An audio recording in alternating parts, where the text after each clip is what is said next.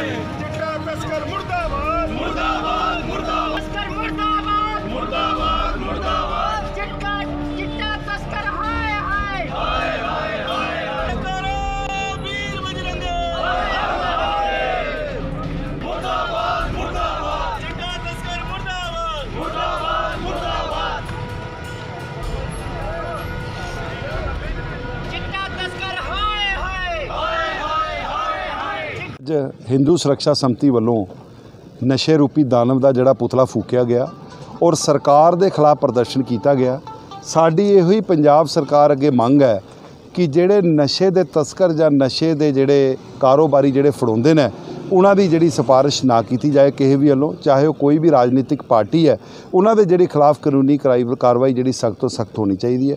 ਸਾਡੇ ਮਾਨਯੋਗ ਤਹਿਸੀਲ ਪਠਾਨਕੋਟ ਦੇ ਜਿਹੜੇ ਐਸਐਸਪੀ ਨੇ ਦੀਪਕ ਹਿਲੋਰੀ ਜੀ, ਉਹ ਬਹੁਤ ਅੱਛਾ ਕਦਮ ਚੁੱਕ ਰਹੇ ਨੇ ਨਸ਼ੇ ਦੇ ਖਿਲਾਫ ਔਰ ਉਹਨਾਂ ਦੇ ਨਾਲ ਹਿੰਦੂ ਸੁਰੱਖਿਆ ਸੰਮਤੀ ਜਿਹੜੀ ਹੈ, ਪੂਰੀ ਕੰਧੇ ਨਾਲ ਕੰਧਾ ਮਿਲਾ ਕੇ ਤਿਆਰ ਹੈ।